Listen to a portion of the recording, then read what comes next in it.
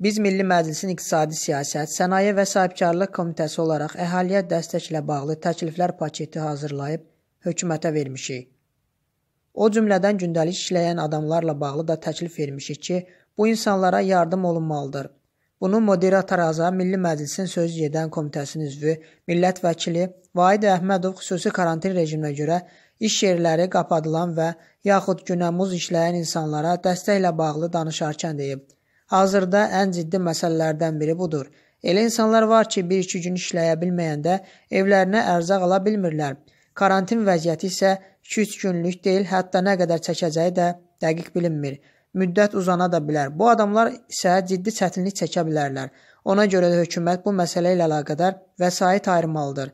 Əmək və Əhalinin Sosial Müdafiəsi Nazirliyində siyahılar müəyyənləşdirilməlidir və onlara birbaşa yardım edilməlidir. Yardımın məbləği hökumət tərəfindən təyin edilməlidir. Millət vəkili bildirib ki, digər təklif isə kommunal ödəmələrlə bağlıdır. Vəziyyətlə əlaqədar vətəndaşlar bu sahədə də əziyyət çəkirlər. Ona görə də heç olmasa 2 ay müddətində insanları bu əziyyətdən azad etmək lazımdır. Əlbəttə, hamı olmasa da olar. Çünki işə getməsələr də bəzi insanlar maaşlarını alırlar. Burada da günəmuz işləyən adamlar daha çox əziyyət çəkirlər. Deputat hesab edir ki, hökumətin təklifləri araşdırıb bu məsələlərlə bağlı müvafiq qərar qəbul edəcəyi gözlənilir.